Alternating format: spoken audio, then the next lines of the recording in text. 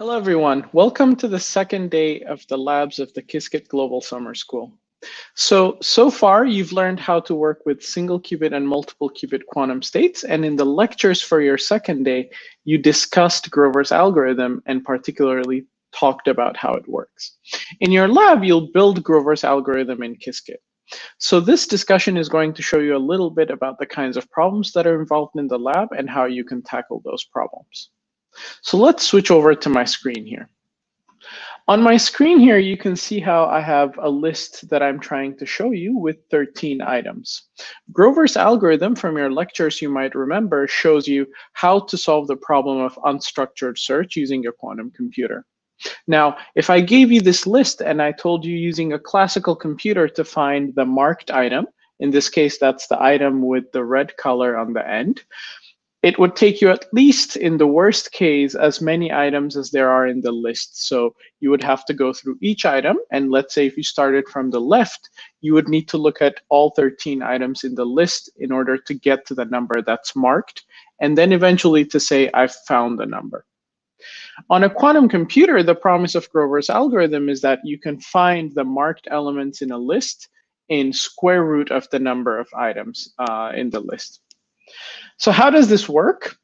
You might remember again from your lectures that the structure of Grover's algorithm looks like this. So this pictorial depiction shows you how Grover's algorithm looks like the following block diagram with a Hadamard gate that takes all your qubits from the zero state uh, to a superposition state, and then a series of operations. So the operations you learned in the lecture are the oracle operator, which, which we have in that first box, and a diffusion operator, which is simply a reflection operator sandwiched between two Hadamard gates.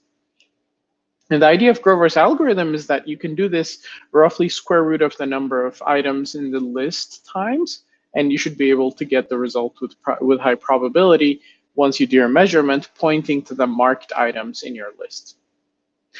So let's go through these in some detail. You might remember that the job of the oracle is to take you through, uh, is to show you exactly which elements in the list are marked. And the way to implement that oracle, as you might remember from lecture, is to actually take a matrix that looks exactly like the identity matrix, but has minus ones at the indices where elements are marked. So for example, you might see here uh, the index that is corresponding to um, uh, this particular point is marked. So I have a minus one here. The matrix starts off with size 2 to the n by 2 to the n because your circuit has n qubits. And at the end, what this matrix does is mark the state that corresponds to this particular index. So this is the, the first index within the matrix.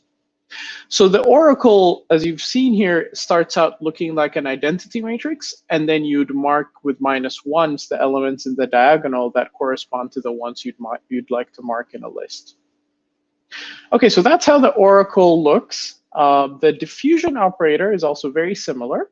So it's two Hadamards, a series of Hadamards on all your qubits, sandwiching one particular kind of operator. Again, this matrix looks exactly like the identity, so very similar to the oracle, except this time the marked element is always the very first element.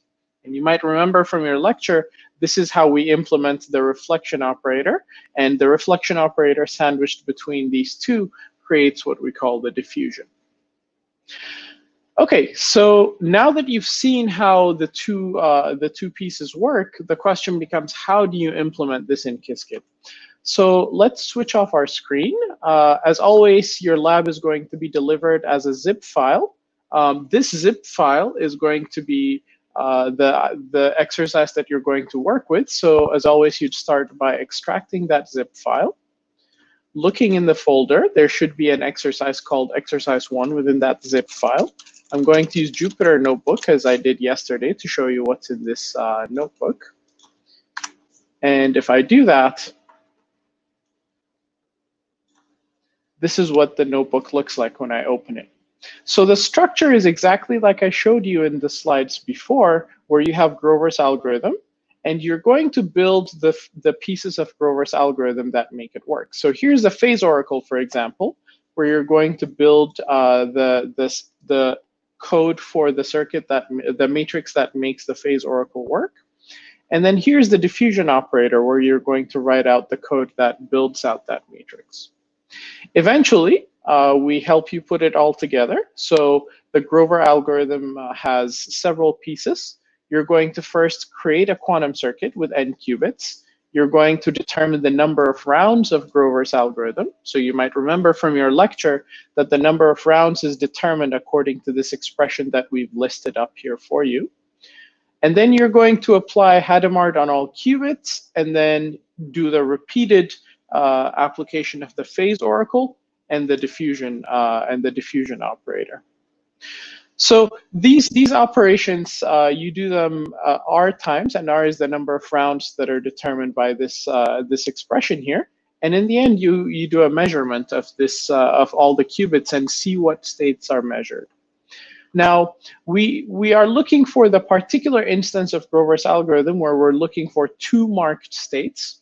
And those two marked states have length six. So this is a six qubit Grover algorithm. And the indices of these marked states, we tell you, are 1 and 42. So the answers are 1 and 42. Now, you take these marked states uh, and you use them to create effectively a Grover algorithm circuit that takes six qubits and has the marked indices that are 1 and 42. So you don't need to change any part of this particular cell. However, you do need to fill out these components, the diffuser and the phase oracle.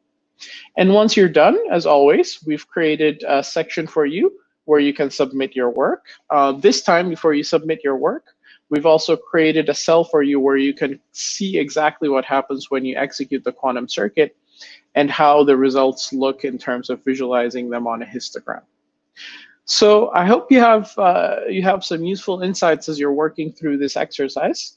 Uh, something that might be useful for you to look through is to use this uh, execution and visualization tool repeatedly until you get the right result.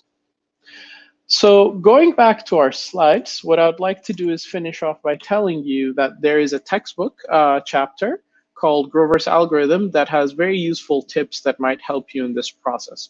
So if you just simply look up Qiskit textbook Grover's algorithm, you should be able to find this chapter which shows you a few things, one of which is how to implement those Oracle and diffusion operators using gates. In the lab, you're implementing them by using matrices and converting those matrices into Qiskit operators. However, when it comes to running them on real devices, you really need to think about how to implement these operators as gates. So you can see examples of how to do that for a few qubits in the Qiskit textbook, and we encourage you to look through that chapter.